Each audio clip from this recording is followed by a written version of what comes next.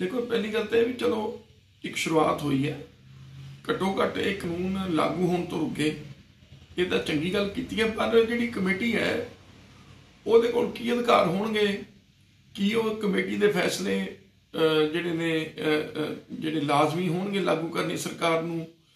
ਇਹ ਸਾਰੀਆਂ ਚੀਜ਼ਾਂ ਹਜੇ ਕੁਐਸਚਨ ਮਾਰਕ ਨਾਲੇ ਕਿਸਾਨਾਂ ਦੀ ਉਸ ਕਮੇਟੀ 'ਚ ਪੂਰੀ ਨੁਮਾਇੰਦਗੀ ਨਹੀਂ ਹੈ। ਇਸ ਕਰਕੇ ਮੈਂ ਆਸ ਕਰਦਾ ਵੀ ਇਹ ਸਿਰਫ ਇੱਕ ਟਾਈਮ ਟਪਾਉਣ ਦੀ ਗੱਲ ਨਹੀਂ ਹੋਣੀ ਚਾਹੀਦੀ। ਤੇ ਲੋਕਾਂ ਦੇ ਮਨ 'ਚ ਸ਼ੰਕੇ ਹੀ ਨੇ ਵੀ ਇਹ ਸਿਰਫ ਸਮਾਂ ਟਪਾਉਣ ਲਈ ਇਹ ਕਮੇਟੀ ਸਥਾਪਿਤ ਕੀਤੀ ਗਈ ਹੈ।